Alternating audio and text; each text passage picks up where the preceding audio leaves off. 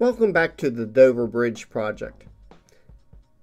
As we approach the end of June, you can see that everything is screened up and the construction of the project is moving forward. The new embankment emanating from the Caroline County side is well underway. The visible drainage blanket sits atop a separation geotextile and has approximately 8,000 wick drains drilled down into the marsh muck beneath it. On June 12th, this embankment entered into its first 150 day quarantine period, during which the marsh muck converts into a peat base as the water is wicked out. This peat base is more structurally sound. In November, a two layer system of high strength woven geotextile topped with select borrow will be placed on the embankment and it will enter another 150 day quarantine period.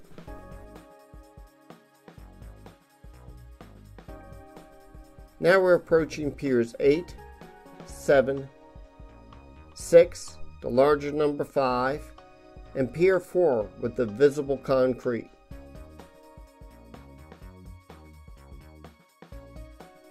There is plenty of activity in the Choptank River with cranes working on both sides of the channel.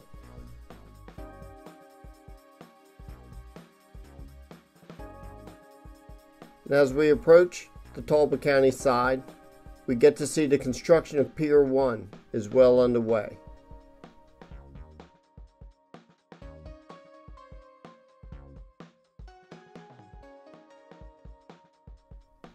Looking from the side, here's a better shot of Pier 1 under construction.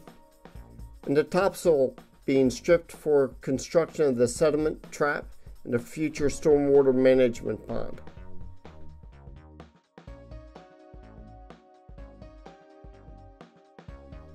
Looking from the side view puts the piers in better perspective. There's eight, seven, six, pier number 5, and of course the concrete pier number 4 that we talked about earlier. The first one on the land.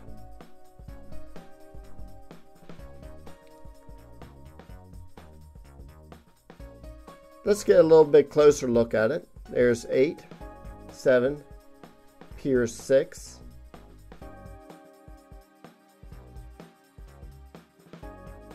Here comes pier number five. Oops, crane's right there. And then we have pier four in the center of the screen.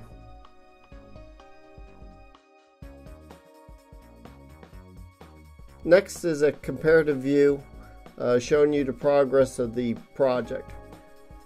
June 24th is on the left, April 29th is on the right.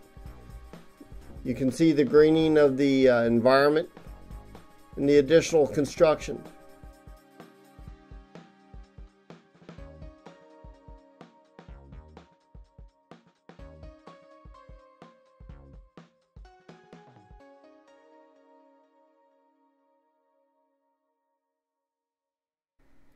You can see the work the Omega Trestle Tram is providing, moving equipment back and forth and giving the cranes easy access to all the uh, construction site along the way.